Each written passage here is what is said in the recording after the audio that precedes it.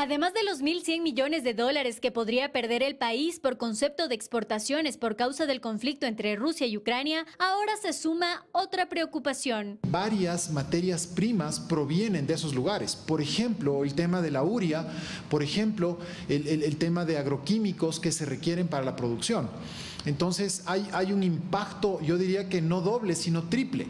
Precisamente Rusia es el primer proveedor de fertilizantes del mundo. En Ecuador tiene una participación del 38% del mercado, por lo que los expertos dicen es necesario buscar formas de solucionar el problema de la importación y el costo de los agroquímicos. Es factible migrar de fertilizante químico a fertilizante orgánico. No es un tema automático hay obviamente que generar la producción requerida y la producción necesaria, y eso también va a ser un proceso de migración en, los procesos biológicos del suelo. Esta migración debemos verla no solamente por un efecto negativo de la guerra con Ucrania, sino más bien como algo positivo, ya que la Unión Europea, un gran comprador nuestro, precisamente está buscando productos con mucha mayor eh, fuerza orgánica. Sin embargo, los economistas creen que la escasez de fertilizantes podría incrementar el precio de los productos. Va a generar un, un impacto en la inflación no solo internacional, sino también en la inflación local, que ya se venía sintiendo en meses anteriores,